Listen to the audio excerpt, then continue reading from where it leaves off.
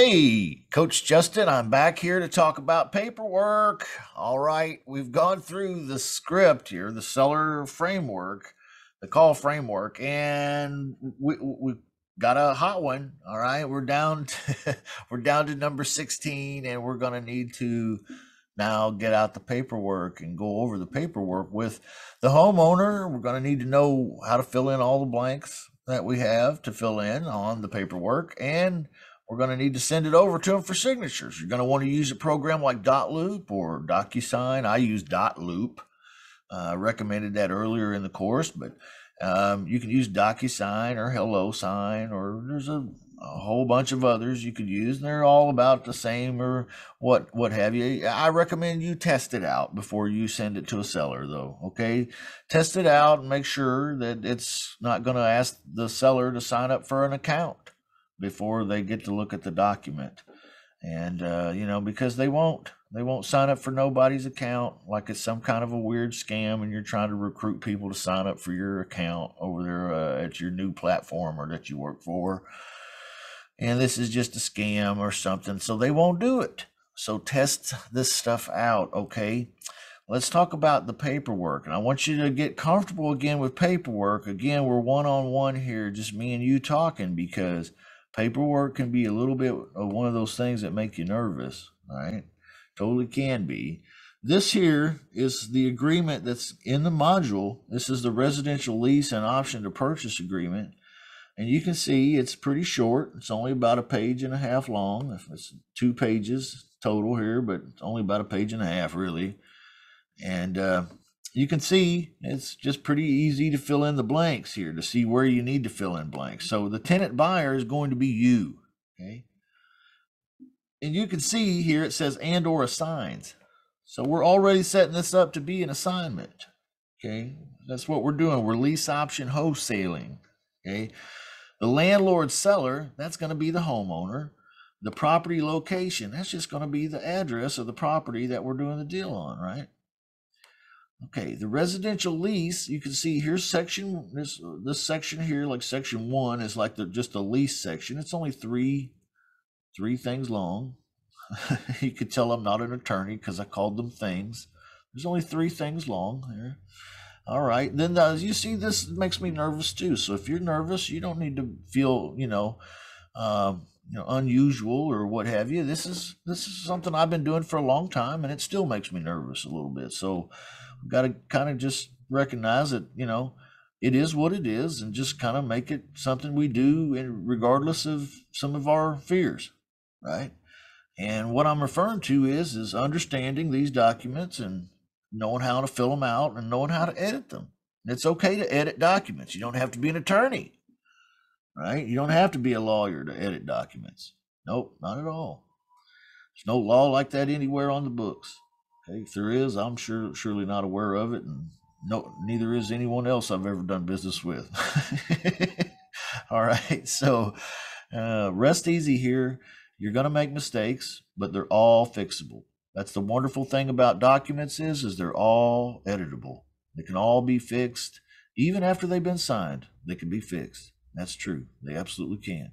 All right, so we have the residential lease section, and then down here below it, we have the option to purchase section. So you can see we have a lease with an option. So a lease option. All right, this is a lease, a standard lease option agreement. So this is not two separate documents, but it has both the lease and the option in one. It's what I refer to sometimes as a combo agreement, right? All right. Now, residential lease section one through three just says blank dollars per month for rent. How much is that? Okay. Lease term, you should know this by visiting with the homeowner. And if you don't, while you're on the phone with the homeowner, that's why you're going over the document with the homeowner. You want to ask them. This is before you send it to them. You want to ask them, you know, hey, what what what what did you need monthly? Oh, okay. Okay. That's right. Because I, I missed that earlier in the conversation. So what is this? Okay. What is the, what is the, uh, 36 months is what I'm putting down here, Mr. Homeowner. Does that sound reasonable? We'll, we'll do our best to get this done in 24 or before, but we will put down 36 here just to give us all some extra breathing rooms. That makes sense, Mr. Homeowner? Okay, yeah, great. Yeah, wonderful. All right, good. Commencing on, let's do it today. And then we'll end in 36 months. So that means you're going to have to get out a calculator. Fast forward 36 months. Okay. Put the date down there. Maintenance. Tenant buyer will be responsible for all maintenance, repairs, and the management of the property not to exceed blank dollars per individual repair. I may want to edit this and come in here and just delete this whole not to exceed blank dollars per individual repair part. That way it would just read tenant buyer will be responsible for all maintenance, repairs, and the management of the property, period. I might want to do that, depending on the deal. Okay. And that's okay. I can do that. You can do that too. Okay. So if you don't edit that and you put a number here, let's say $250, that means the tenant buyer that you put in here that you assign this document to, because see, you're going to assign this document. When you assign this document to your tenant buyer, they would be responsible for all repairs up to $250 per repair. After that, the homeowner would have to kick in. Okay. That's how that's set up. All right. So edit that to make it the way you need it to, to make your deal work, to make your homeowner sign it. That's what I mean. Purchase price, that's that's the purchase price. Usually we all know that. Option period, again, this is just the same information that we had on number two up here in the lease term. In the option period, the same exact information. Fill in the blanks the same exact way. Okay. See, they're just the same. All right. All right. Option consideration. This is down payment that you will owe the homeowner, if any at all. If you agreed to give the homeowner, you know, one month's rent non refundable, okay, then that amount needs to go here. All right. Now you can see, or whatever the amount is, $3,500. Woo. Okay, then put that there. All right. That's what the seller is going to be collecting $3,500. All right. That is the option to purchase option consideration. Okay.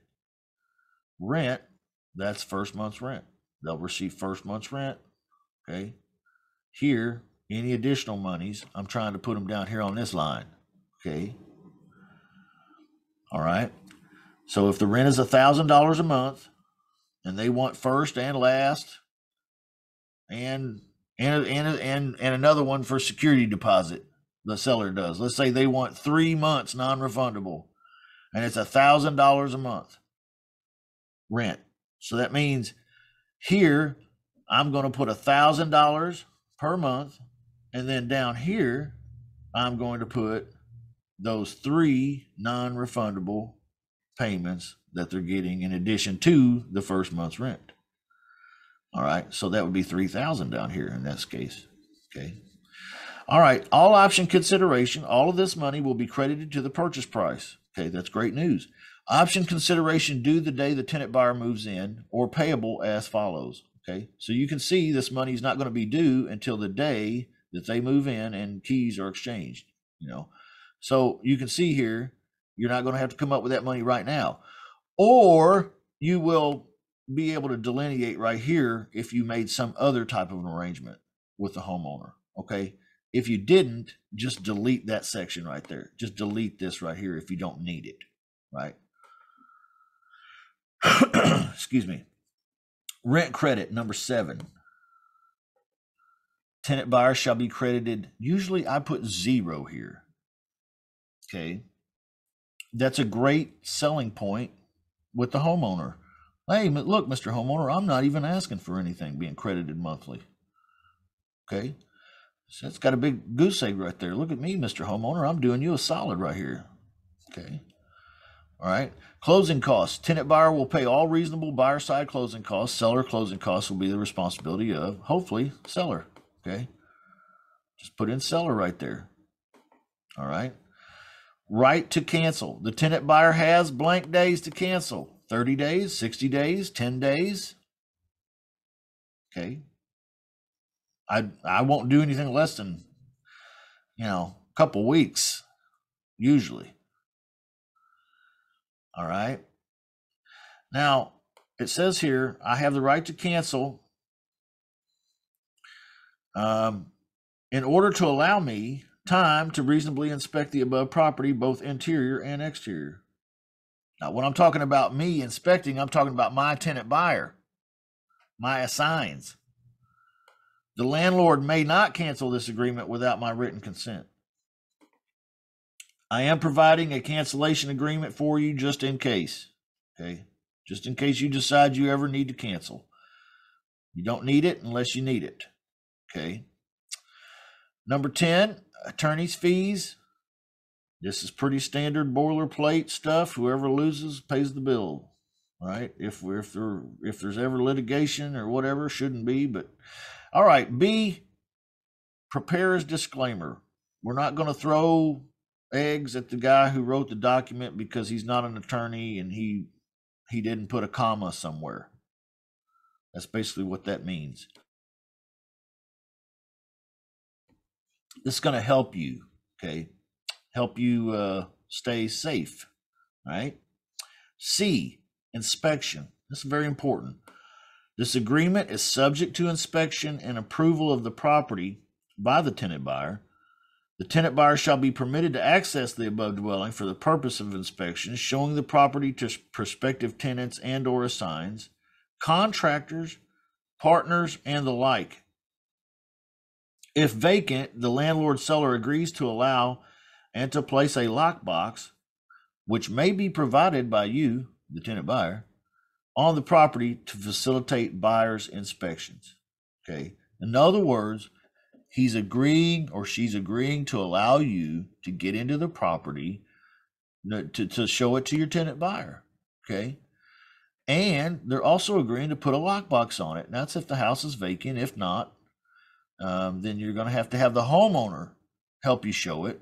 They're going to be home because they live there, right? So you're going to want to use the appointment confirmation memo. Okay. That has been provided here as well in the module, the appointment confirmation memo. And you're uh it's it maybe not in this module, but in the the, the, the appropriate module about tenant buyers. Okay, when when you're getting one to show a house, uh, it's in there. All right, but if you're if it's a vacant property, then you're going to want to send a lockbox, and you can just order one on Amazon and put the address in there, and have them send it down there to the homeowner for them to put a key in and put it on the house. Okay, Amazon will ship it right to them and let you pay for it. All right, they're about 25 $30 to do that, something like that. Okay. Number 11, the undersigned landlord seller hereby acknowledge that they have read this agreement, understand it, agreed to it, and been given a copy. They further have been advised to seek legal, tax, technical counsel, blah, blah. Important disclosure tenant buyer is the principal, not, not a licensed realtor. Another important disclosure the tenant buyer has the right to market, assign, or sell their legal interest in this agreement, and then their signature blocks down at the bottom once you've gone over this document with the homeowner, you don't have to go over it as deeply as I just did there.